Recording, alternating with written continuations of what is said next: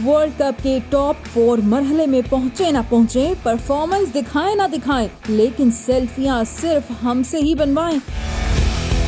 कौमी क्रिकेटर्स ने खुली ऑफ़र लगा दी। ऑस्ट्रेलिया में होने वाले एक इवेंट में मौजूद शहरियों ने कौमी क्रिकेटर्स को घेर लिया। भारतीय अदाकारा ऋषि रोटेला की वीडियो के बायस खबरों की जीनत बनने वाले नसीम शाह ने तो खातन से मुआफी ही मांग ली, लेकिन बात न बनी।